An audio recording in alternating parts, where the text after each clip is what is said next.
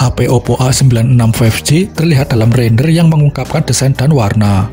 Dengan kata lain, ponsel baru bernama Oppo A96 5G ini sedang dalam pengembangan. Gambar pers dari perangkat ini baru saja nampak secara online.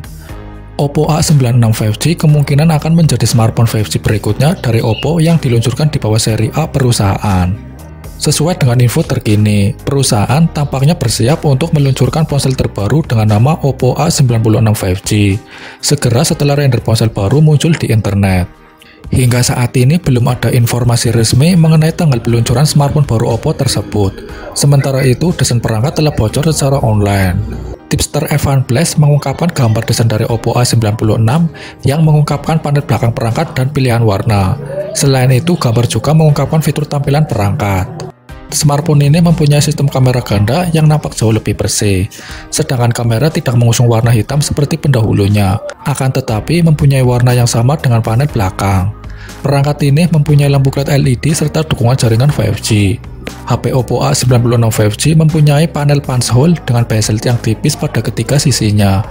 Pada bagian bawah, ia mempunyai sisi yang tebal. Smartphone ini tampaknya mempunyai lubang suara pada bagian atas tombol volume tombol daya pada sisi kanan, serta slot kartu SIM di sebelah kiri.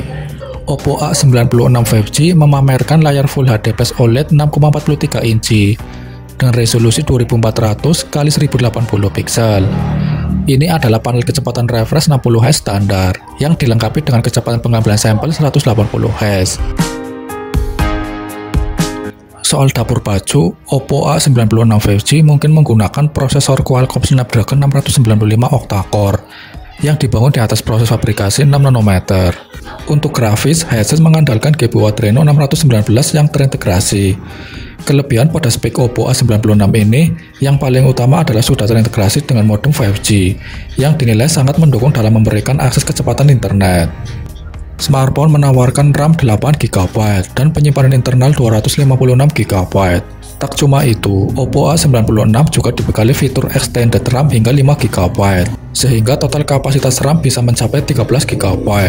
Sementara itu, untuk soal platform yang digunakan, Oppo telah mengandalkan Android 11 dengan user interface ColorOS 12 yang sangat human friendly dan memiliki proses ringan. Sedangkan untuk tenaga dayanya sendiri, Oppo A96 mengandalkan baterai berkapasitas 4500 mAh, yang mana diklaim mampu memberikan jaminan kekuatan suplai secara lebih maksimal. Bahkan tak lupa bahwa baterai pada ponsel Android ini telah disokong oleh fitur pengisi daya cepat 33 watt, yang bakal sanggup memberikan akses pengisian daya dalam waktu yang sangat cepat. Berbicara tentang kamera, Oppo A96 5G menawarkan pengaturan kamera belakang ganda dengan lampu kilat LED, Penembak utama pada headset adalah sensor dengan resolusi 48 megapiksel yang digabungkan dengan sensor potret 2 megapiksel. Kemudian di sisi lain, Oppo juga turut menyertakan satu kamera depan dengan resolusi 16 megapiksel yang mana dipastikan cukup mampu dalam menjamin kualitas foto selfie yang tak akan mengecewakan.